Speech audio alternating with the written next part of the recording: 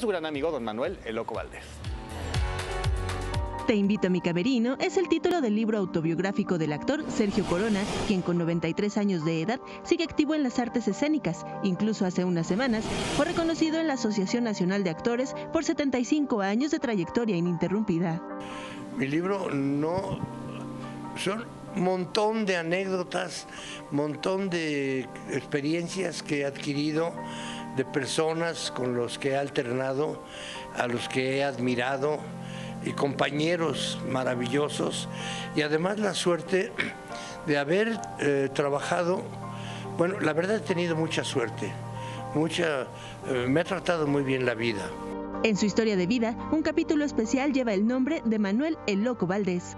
Uy, Manuel, mi queridísimo compadre.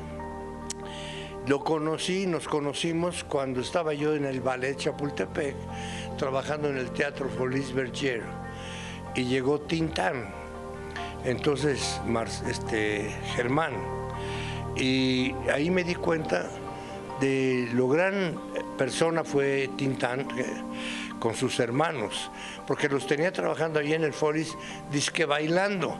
Ni Manuel ni don Ramón bailaban, pero para que tuvieran un ingreso y tuvieran una actividad, ahí los tenía en los números musicales con su carnal Marcelo. Y ahí lo conocí a Manuel. Ahí comenzó una amistad que se convirtió en hermandad. Que como él le iba a la América y yo al Guadalajara, que era un clásico, me dice, vamos a apostar. El próximo clásico vamos a apostar. Y el que pierda, ¿qué? Pues ahí se nos ocurrió que el que perdiera, por cada gol que metieran, nos iban a, a aventar un cubetazo de agua. Y perdí yo. Hubo una que perdió Manuel, que era hacer un travesti tenía que, desvestirse. Y en pleno reforma, yo dije, se va a quedar en shorts, ¿no? Se quitó camisa, se quitó, se quitó el pantalón y quedó en tanga. Imagínense a loco Valdés en tanga. no, mi hermano, la verdad, lo, me, dijeron, eh, una vez me dijeron, oye, ¿y no extraña a Loco Valdés?